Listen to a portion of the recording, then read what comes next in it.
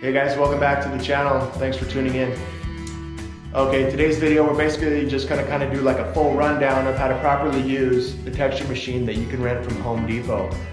Um, I know that a lot of you homeowners out there and young contractors rent these and you know, use them to spray your own texture. I've used these things many times. It's what I do for a living. I have the routine down. So I'm gonna show you like from start to finish how to get a really nice light orange peel finish out of these. They do a good job if you know how to use it right. I'm gonna show you everything. So let's go. And don't forget to subscribe and like and turn on the bell. Off and on. This black knob here, uh, it controls the material flow. And so it's, you know, kind of how much mud is coming out, right? So as you come around the top of this, you see how the black dots get bigger and bigger. Well, this big black dot, the biggest one, obviously that's like, you know, maximum. Okay, I usually tone it down and go one down. I don't go all the way up. I kind of tone it down a little bit so you're on the second biggest dot.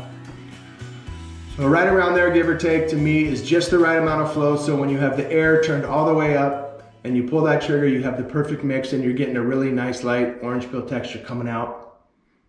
Okay. If you're new, you might want to tone it down and just practice. That way, you know, you're kind of if you have it turned up high, you risk accidentally spraying too much texture on the wall. So you may want to tone it down, just spray one wall quickly, check it out until you get used to it, then you can turn it up when you're ready. You know, just a thought. Okay, let's put this thing together.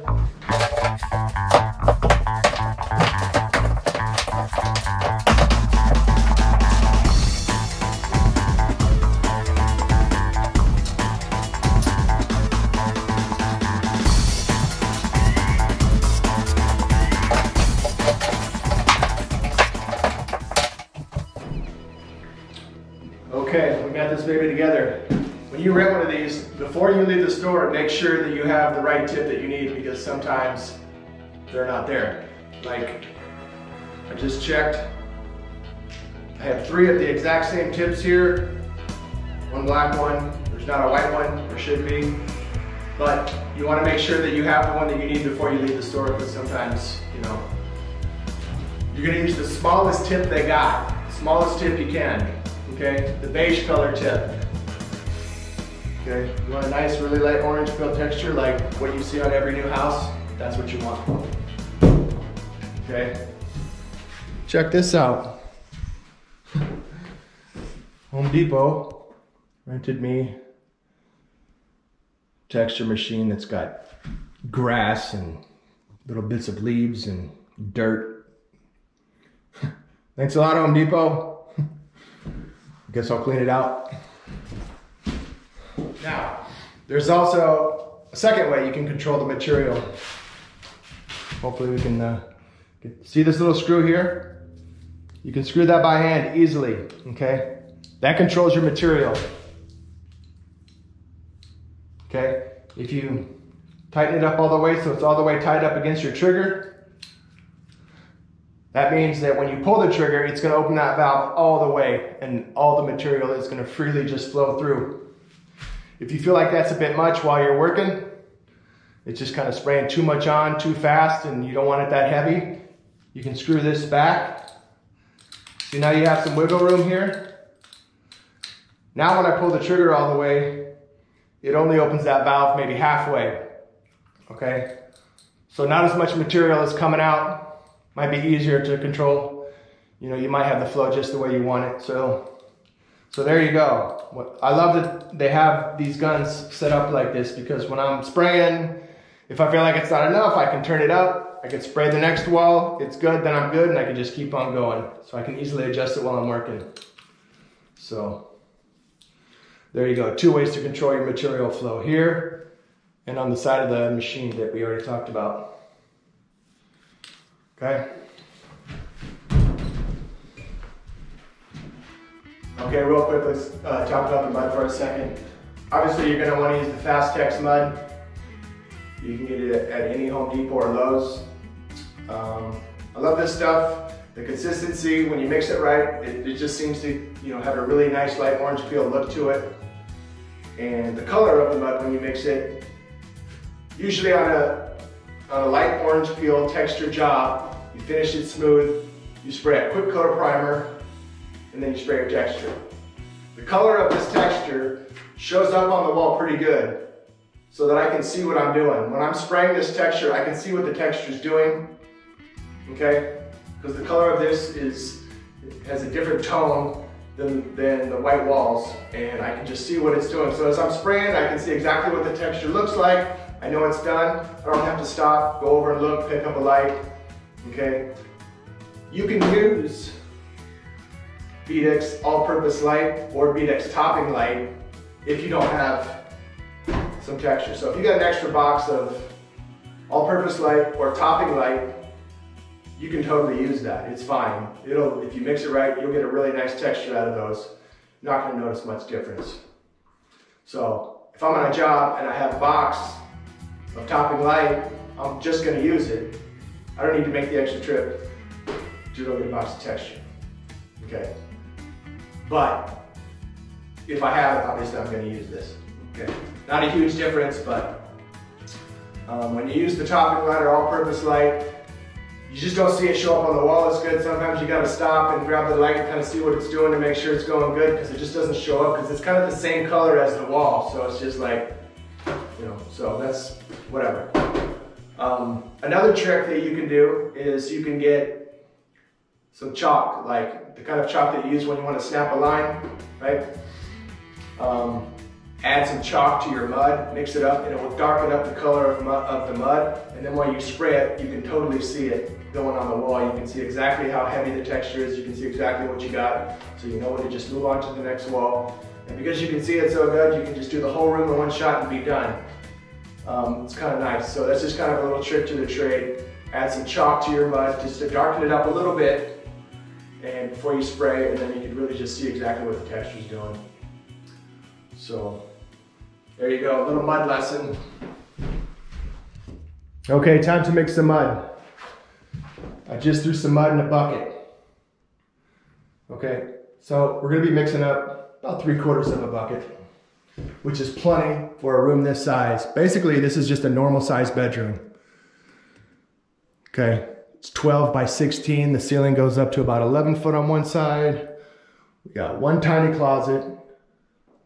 So normal size bedroom basically. Three quarters of a bucket is plenty. Okay, now time to add some water and mix this up.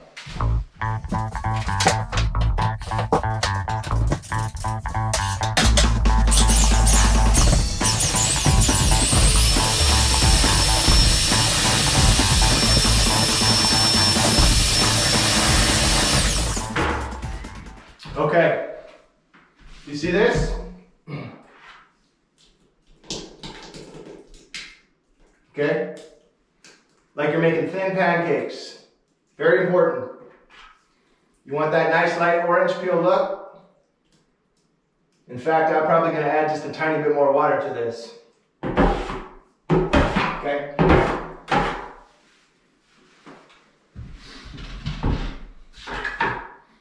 The reason why is because after it sits for about five ten minutes, it will thicken up a bit. So when you have it perfect, let it sit for about maybe 10 minutes at the most. Check it. You're going to find out that it's a little bit thicker and you're probably going to want to add a little bit more water. So.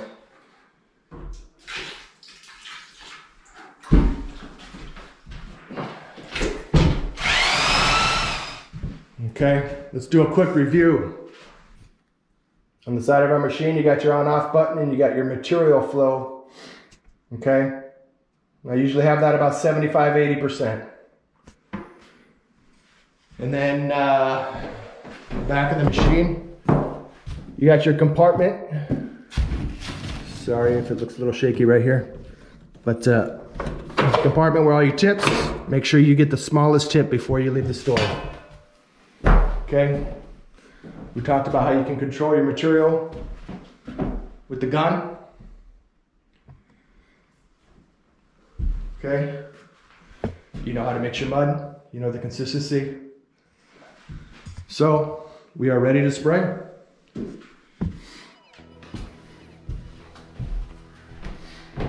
Okay, we're about to spray, but real quick, let me just give you like a quick masking lesson here.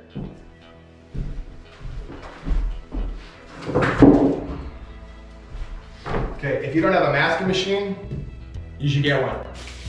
These, these are the best. They're so fast and they're so convenient. They make my life so much easier. The masking goes by so much faster. If you try to do it by hand without one of these, it's gonna take way longer. I never leave home without this. Okay. Anytime you do a texture job, you go through and you do all the masking, but you leave one door uh, uncovered. Okay, you don't mask one door because you gotta go in and out. But then as soon as you're ready to start spraying, obviously then you're gonna cover the door. So we're just gonna do this just for a quick masking lesson. You can use four foot plastic. This plastic here, you can get it at Home Depot, you can get a Sherwin-Williams 48 inch plastic. When you unfold it, that means it comes out 48 inches. You can use the 48 inch and you can run it down this way and then unfold it over here to cover the door, or you can use the 99 inch plastic. You can run it this way and bring it down. We're gonna use 48. Leave about four inches extra. It's too long at the top and at the bottom.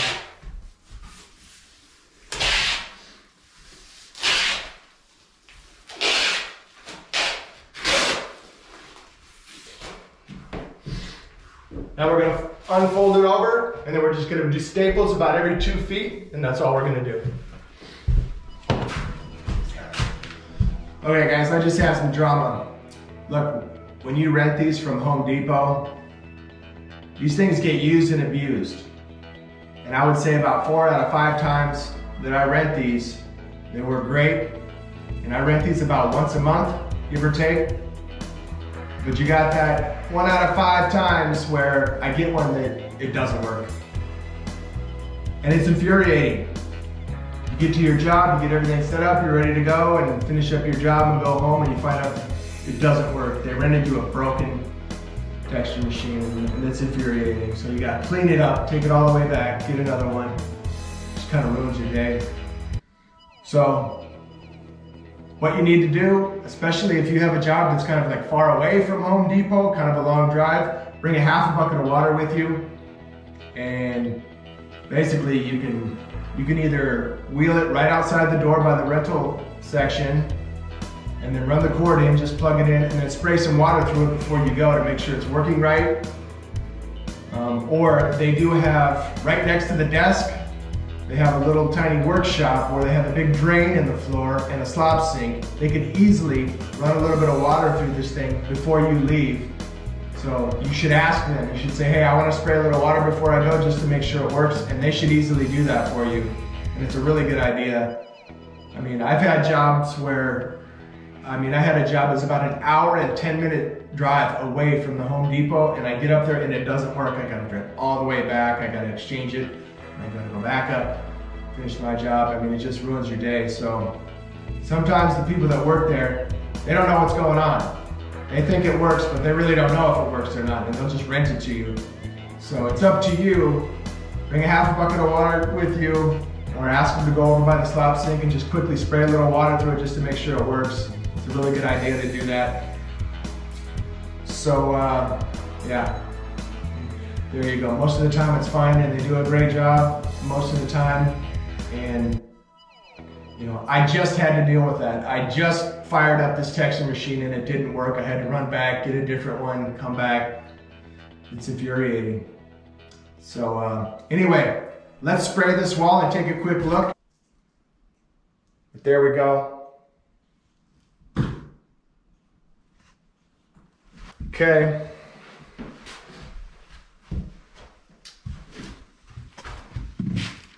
Anyway, looks good. I'm gonna spray a touch more around the angles. They're a little thin. Um, yeah, and it does shrink a tiny bit when it's dry, so, and it looks nice. So, there you go. If I wanted it to be even lighter, I would just add a little bit more water to my mud and just mix it up real quick. Um, and I would decrease the material flow a little bit so you have a little more air, a little less material. That'll kind of lighten it up, but this is good. We're good. It does shrink a tiny bit when it dries, which is good. So there we go. Okay guys, that's it. It's not rocket science. I mean, these machines are kind of self-explanatory, but there's a couple things that you need to know to really get a nice uh, light orange peel texture. So hopefully there was something in this video that makes your life easier and hopefully you get that light orange peel texture that you want. And uh, yeah, that's it. Thanks for watching. Subscribe. See you on the next one.